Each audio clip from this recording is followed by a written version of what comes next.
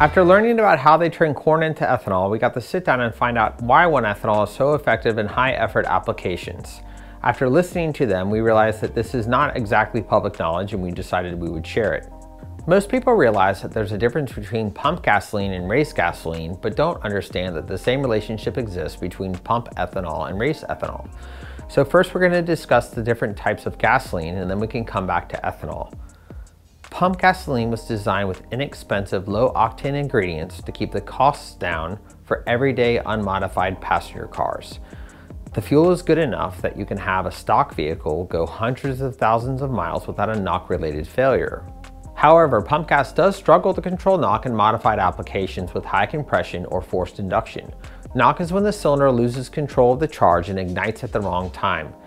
You can read about detonation or pre-ignition, you can look at tons of broken parts. It's really, really destructive to an engine. And as you double, triple, or quadruple the power output of an engine, you'll get to the point where pump gasoline cannot suppress knock and you have to move to a better fuel if you're to keep the engine alive. Race gas is a mix of high octane ingredients that are better at suppressing knock, but it's much more expensive than pump gas. So if you had a graph with pump gas on the left and race gas on the right, what you would see is as you move to race gas, both the horsepower capacity and cost increase. Now that we understand the relationship between pump gasoline and race gasoline, we can apply the same concept to ethanol blends. If you have a graph with pump ethanol on the left and race ethanol on the right, both the cost and the power capacity increase as you move up to race ethanol. Pump ethanols are blended with low cost, low octane ingredients to keep pricing competitive with pump gas at your local stations.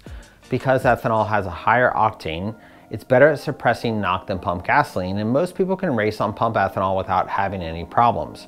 However, the rules still apply as you're doubling, tripling, or quadrupling the output of your engine, you'll get to the point where pump ethanol will no longer suppress knock and moving to race ethanol will increase the engine's performance and longevity.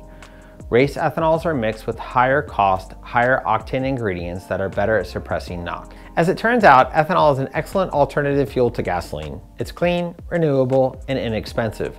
However, pure ethanol is so close to the type of alcohol that's used in liquor, it would have to be taxed as a beverage, making it too expensive for use in fuel. To bypass the beverage-related taxes, it's mixed with other ingredients that make it too harmful to ingest in a process called denaturing.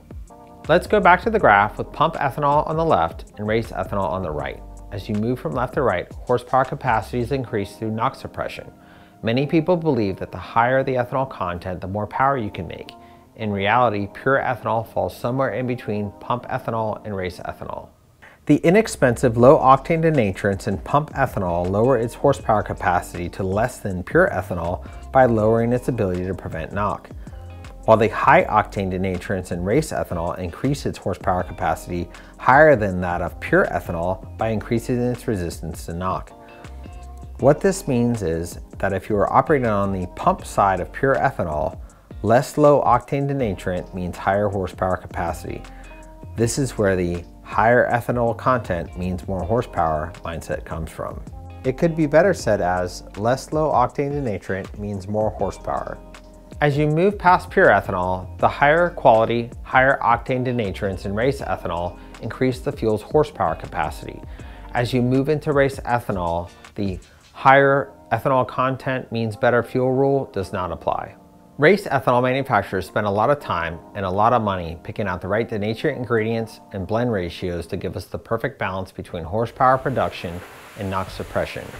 When using a race ethanol, Worry less about what the ethanol percentage is and more about the consistency of the fuel from batch to batch.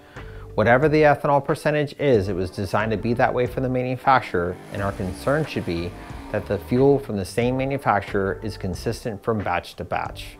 One of the drawbacks of using pump ethanol in a race application is the ethanol content can vary between 51% and 83% throughout the year. This means that the low octane denaturant can be two to three times more throughout the year. If your ECU and tuning don't take this into account, you can create a dangerous situation for your engine.